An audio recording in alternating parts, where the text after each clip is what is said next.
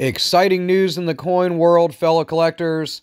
The United States Mint will begin accepting orders for the new 2024 American Buffalo 1 ounce gold coins starting June 13th. As you probably know, the Mint launched the American Buffalo coin program back in 2006.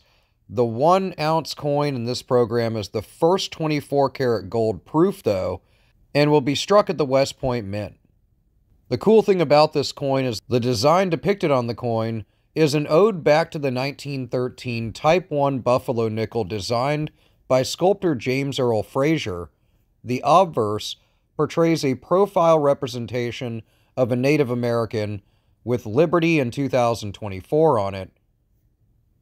And the reverse is going to show the American buffalo, also known as a bison, and the inscriptions United States of America E pluribus unum, in God we trust, $50, 1 ounce, and 0.9999 fine gold.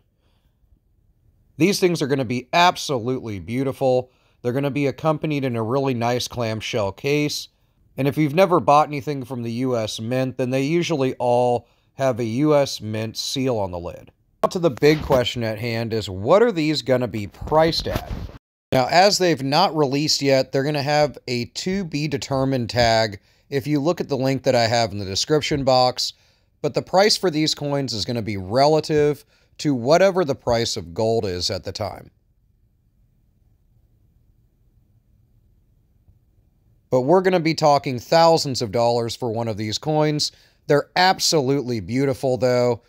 And I wish I had the extra money or coin, pun intended, to pick one of these things up.